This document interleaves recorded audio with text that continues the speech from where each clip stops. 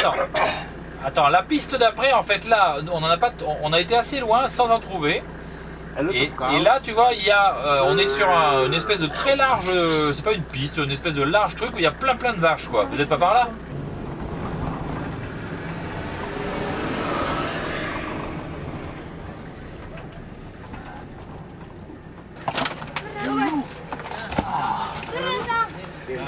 Abi, On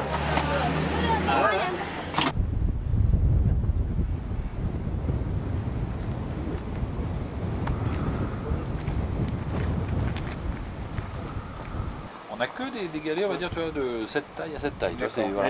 N'as qu'à voir les, les- les plages de galets. Ouais. Quand tu as du, quand t'as du galet que ça tape, tu que du galet. Ouais. Parce que le sable, lui, il repart à chaque fois. Donc c'est normal. Dans ce cas, tu vois, ces petites banquettes qu'on a là, ça peut être justement la surface d'abrasion marine, c'est-à-dire voilà ce, que, ce que la houle a tapé. Et les grottes, c'est tous les points faibles de la roche. Tu vois, qui, ont été, qui ont été vidés. Et dans ce cas, tu as les galets au pied.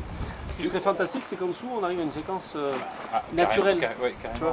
ouais. On peut au moins se faire, tu vois, Voilà. la boucle, ce Ouais, côté-ci, bien sûr. on revient manger, après Ouais. on repart par là.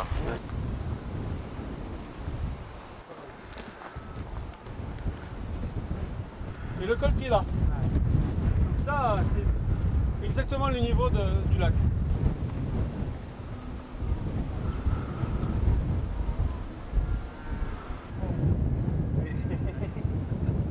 Et regarde.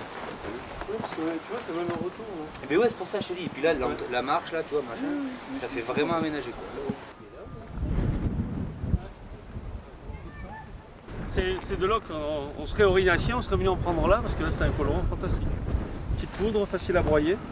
Et on voit que d'ailleurs, ça a servi, hein, les gens en ont pris.